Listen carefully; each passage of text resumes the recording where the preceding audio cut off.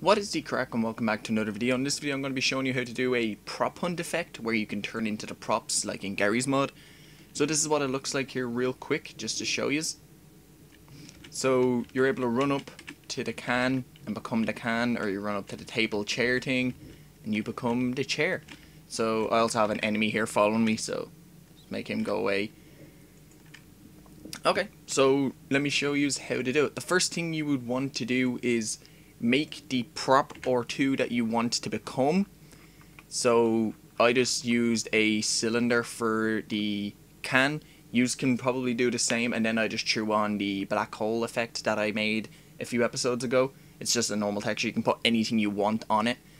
Uh, I also just used a cube or two for this to make up the chair. As you can see, actually I used a cube, sorry, and a plane. That's why you can only see the top of the chair part from a certain angle. Once you've made a proper two, you can put them anywhere in the world you want, but then you also have to put them attached to your player. If you don't have a player in your game, right click, uh, import new package, and then click characters. Then when you bring in your character, you will have you'll have to go up into your standard assets, characters, first person or third person. I'm using the third person. You can use first person if you want, but you're not really going to notice that you changed and then you parent them sorry about that then you parent them to your player. As you can see my can is parented to my player right here and my chair is also parented to the player. Don't parent them to your camera or to your uh, see here Ethan body that Ethan's body that's what the default uh, body is. Don't do it to that or the skeleton or the main camera. Make sure you drag it into your third person controller or You'll get some weird effects. And also, I had them on it, but I ended up turning it off. Don't use a, a box collider. Don't use any type of collider because you'll be using your original character's collider. If you do, it'll end up... I'll actually show you what happens if you do end up doing it. So on the can, I will add a box collider. And now let me show you what happens if you end up having a box collider on it. So if you run over here, I'm stuck. Thank you, enemy. If you become a can, as you can see, I'm not pressing anything on my keyboard. I'll actually just turn. I'm not touching the keyboard at all. So your character constantly moves forward if you have a box collider. So don't use any type of colliders. And when you create your can or your chair, create a new tag and call it can, call it chair, but don't do it on the ones that are on your player do it to the ones you are interacting with. So if you click this, you'll see up at the top it's labeled chair. If I click the can, it is labeled my game there. It's at, I froze there for a second. It's also called can. So I can actually duplicate these and put loads of them in the world if I so wish and the script will work regardless because of the tag.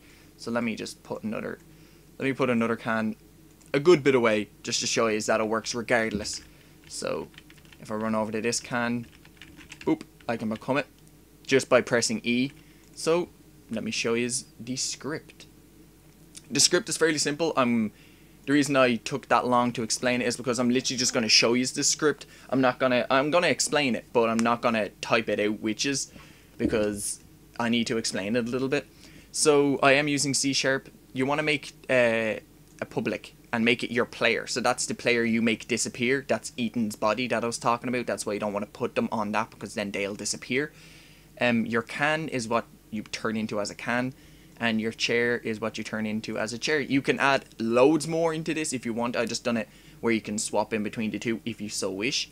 So if you wanted to add more, you would literally just go public, ga uh, game object, and then name it whatever but then in the start function, you would have to make sure that it is starting off as false. So if, just to show you, it would be public game object and then just say test. Then you would literally go in here and make sure test is false. I'm using a new mouse I just got there the other day, so sorry I'm a little bit not used to it. And then uh, with this, you would go void on trigger stay. That's while you're colliding with it. collider call again call can be whatever you so wish to be if call.gameObject.tag that's where you needed to tag your can can or your chair chair or test test whatever you wish just so you know what it is then if input.get key down key code e turn your player off which is Ethan's body then uh, make your can true because you're colliding with can you want to make your can true and you make your chair false. Again, if you added more, you would then have to go in and make test dot set active false also. The more items you put into it, oh, I'm at the clicking the wrong button there. The more items you add into it, the more you are going to have to add into these, so that would also be false. And then you would do the exact same thing for your next one. When you become a chair, you would also make test false also. So that I'll just delete test because again it's a test you don't need it and then when you press E if you're colliding with it you become the, the, the can and then in the other one you have if game object is equal to chair and you press E turn your player off turn chair true turn can off you can add a million more of these as I was saying but make it like box uh, door whatever you want uh, save all. I don't don't think I needed to save that. Oh, I didn't get rid of the test up here, that's why. Okay. And now you have to create on your player I'll show you now. Letting the script save here real quick. Now when you go to your third person character I created an empty or not an empty I added a box to it and I just called it pick up detection which is gonna what you collide with it's a box collider that goes about twice, three times the distance away from the player, just so you can have enough to detect with it, but without being in it where you'll start like glitching the box or whatever you collide with. And then set that to trigger. That's why in the script we had it to on trigger. You could have it on collision, but that means you physically have to be touching it for it to work. I don't like doing that because you'll end up getting like if you collide with it, the box or the chair, or whatever, will end up getting flung into the air. The can will end up getting pushed over. And if you're doing one of these like stealthy games where you're playing with other people, they're gonna notice the can that fell over, so they're gonna be like, "Oh, he's a can," or he bumped into it, so he's this direction type thing. So, not really the best thing to do. So once you have the script completely done, I'll just let you have another look at it, just in case you didn't get it real quick. Pause it at any time to get it. Again, sorry that I'm not typing this out, witches. It's just I want to explain how to do it first. And now when you put the script, make sure you put it on your third person controller or your first person controller if you're doing it as a first person. And then as you will see behind my big lovely face cam, if I was able to move it, there we go. You will see the script is here. So player, what we said in, click the wrong thing there. The player here is going to be Ethan's body. So drag Ethan into it. It's going to take a second for my computer to realize. Your can that is parented to your player is going to be can. And chair that's parented is going to be chair. Simple as that. That is it. Pretty much. That is everything. If you do want to make it more complicated, again, you can add more stuff to it. I might do a second video on top of this to where if you're colliding with it, you'll get like a notifier saying become chair or become table, become box or whatever. So I might have it where it actually pops up on the screen saying press E to become or whatever.